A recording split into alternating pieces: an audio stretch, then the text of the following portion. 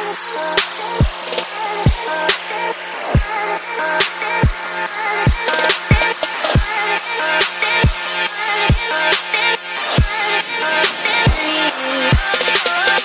right, my name's David. I'm Savannah. Savannah, nice to meet you. What team are you from? 1785. 1785, the... Blue Springs Robocats. If Dean Kamen and Woodie Flowers played chess, who would win? Dean Kamen. Okay, why? If he has, if he can handle all the stress that comes with like putting this together and making it work, I feel like he could handle stress because he probably has to think really fast all the time, anyways. If Dean Kamen and Woodie played chess against each other, who would win? I'm Can gonna. you, can you even pick the I, I can't comprehend that. I think.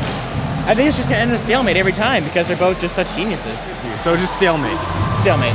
I don't even think that's possible in chess, but I... Yeah, it is is. Oh, it is? Okay. Yeah, I don't know it's much possible, about chess. yes. Officially Robot Fanatic. If Dean Kamen and Woodie Flowers played chess, who would win? Dean Kamen. Oh, why? Man's a genius. I just feel like I don't know. He's got a robot or something, or he would. He would build a robot to play chess I don't know. him? I feel like he's got something. It's just it's a Yeah. feeling I got Interesting. that Feelings. Paige, my name is David. Nice to meet you. Nice to meet Tell me what team you're from. I'm from Team Driven, Team 1730. Awesome, rocking on. If Dean Kamen and Woodie Sharp, Woodie, Woodie were to play chess together, who would uh-huh. win? That's a great question. I don't know. They just tie and no one No. wins? I don't. I don't think you can tie in chess. Hey, can you tie in chess? They don't know.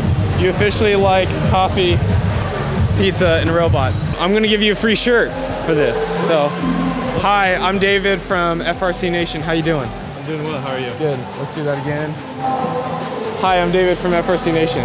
Man, these people just walk right in front of the camera. It's just like, if Dean Kamen and Woodie Flowers played chess, who would win?